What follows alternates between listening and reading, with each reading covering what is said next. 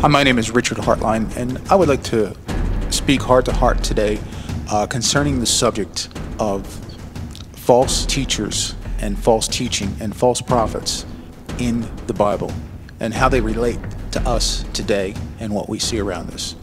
My purpose today is to try to biblically show why we are admonished um, to do this, to to be have our eyes open to expose false teachers and false prophets. Uh, um, the purpose of this uh, recording today is not to talk about specific people or specific false teachers, but to lay down the biblical precedent that we as believers have to do this. First of all, the Bible says we are to try them. Beloved, believe not every spirit, but try the spirits, whether they be of God, because many false prophets are gone out into the world. 1 John 4 1. The church in Ephesus was commended because they had tried them which said they were apostles and are not, and you have found them as liars. That's in Revelation chapter 2 2. And then the church of Pergamos was rebuked because they tolerated those that held the doctrine of Balaam and the doctrine of Nicolaitans, which thing I hate. That's Re- Revelation chapter 2, verse 14 and 15. It's never right to tolerate false teachers, but they are to be tried by the Word of God and exposed. But the problem is this that those who want to disobey the Word of God will seek by every means to avoid this teaching. That's the problem. The Bible also says we're to mark and to avoid them. Now I beseech you, brethren, mark them which cause divisions and offenses contrary to the doctrine which we have learned. Doctrine which we have learned and avoid them. Romans 16, 17. And I just want to reiterate that uh, the purpose of this uh, recording is not to specifically name any false doctrine or false teachers um, in this particular recording, but it is to give the biblical precedent that it's not only okay, but it's commanded for us to do. It's not unloving or unkind to point out false teachers false doctrine. You know, the Bible uh, refers to these people as wolves in sheep's clothing.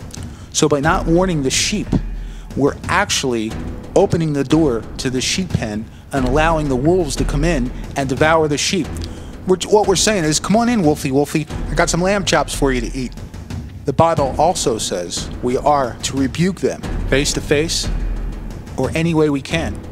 Therefore, rebuke them sharply that they may be sound in the faith. Titus 1 13. You know, this was written to Titus because there were those who were going from house to house, subverting whole households with false doctrine. This is very similar to what is going on today uh, in the church as far as Christian uh, broadcasting and, and Christian TV and much of the silly doctrine that's coming across the airwaves into these households. You know, a good meaning for discernment is this discernment is not knowing the difference between right and wrong, it is knowing the difference between right and almost right.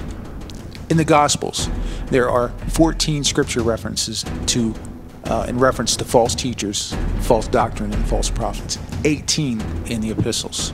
So, do you think it's just a little important? Do you think that somebody should be at least paying attention to these things? You know, if something's in the Bible once, it's important. If it's in there twice, it's very, very important.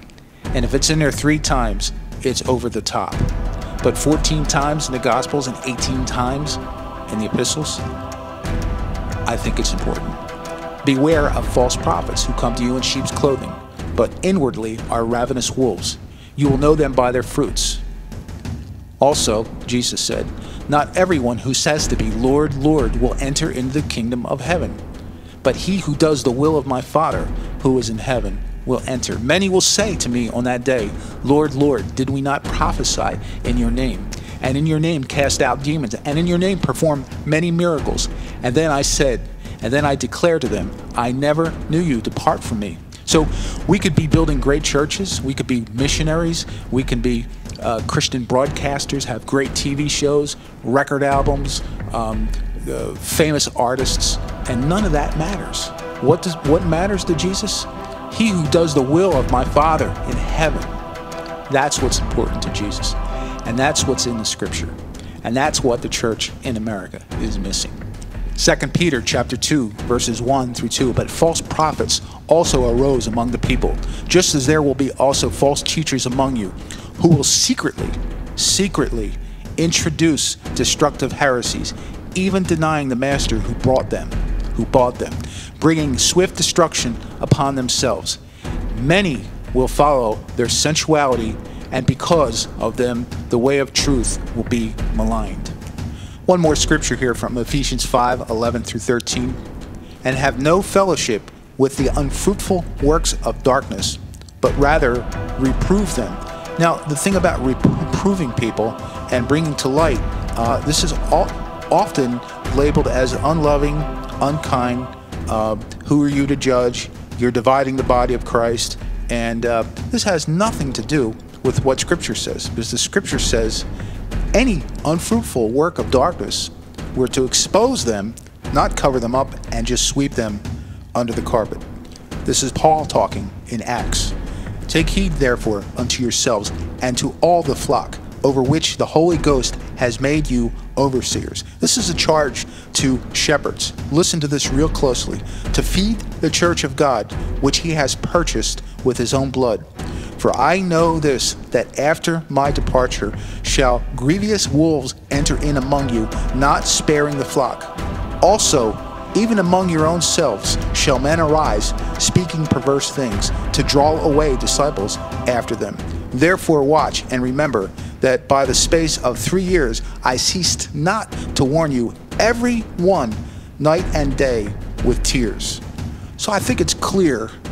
I think it's so evident that we are to expose false teachers and false doctrine. Now, here's the biggie Are we permitted? Are we commanded? Or are we forbidden to name false teachers and false prophets by name?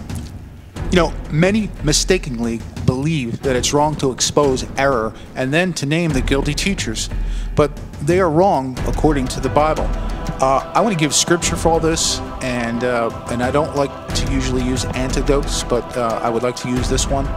If there was a child molester living across the street, and your child was going to that person's house, I'm going to tell you name and address, and to avoid him. I'm not going to look at you and say, "Hey, beware of child molesters." Uh, I'm not going to name the name because I don't want to hurt them. So to not name a false teacher who is deceiving somebody, they're being deceived, would be ridiculous. All right? But let's see what the Bible has to say about it. Paul himself named Peter publicly. Peter, Peter, was guilty of an unscriptural practice. He was mixing the law with grace, and here it is. But when Peter was come to Antioch, I withstood him, Paul said, face to face, because he was to be blamed. But when I saw that they walked not uprightly according to the truth of the gospel, I said unto Peter, before them all, in front of them all, If thou, being a Jew, lives after the manner of the Gentiles, and not to the Jews, then why do you compel the Gentiles to live as the Jews? Galatians chapter 2, verse 11 through 14. In 2 Timothy chapter 4, verse 10, Paul named Demas for loving the world. For Demas has forsaken me, having loved this present world. Paul also named Hymenaeus and Alexander. Paul told Timothy to war a good warfare, holding faith and good conscience, which some have put away concerning the faith, and have made shipwreck.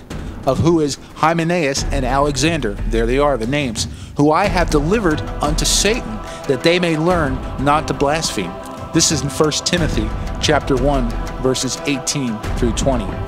Paul also named Hymenaeus and Philetus. He told Timothy to study that he might be able to rightly divide the word of truth, but shun profane and vain babblings, for they will increase unto more ungodliness, and their word will eat as does the canker, of who Hymenaeus and Philetus, who concerning the truth have erred, saying that the resurrection is already past, and overthrow the faith of some. This is in 2 Timothy chapter 2, verse 15 through 18.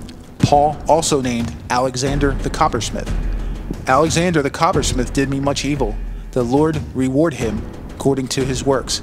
of whom be thou aware also, for he hath greatly withstood our words. This is 2 Timothy chapter 4, verses 14 through 15. John also named Diotrephes. I wrote unto the church, but Diotrephes, who loves to have the preeminence among them, received us not. So, in conclusion, I think it's safe to say that the Bible not only teaches, but commands us to expose false teachers, false prophets, and false doctrine, and name those false teachers and those false prophets by name when necessary. This is Richard Hartline, loving you enough to tell you the truth.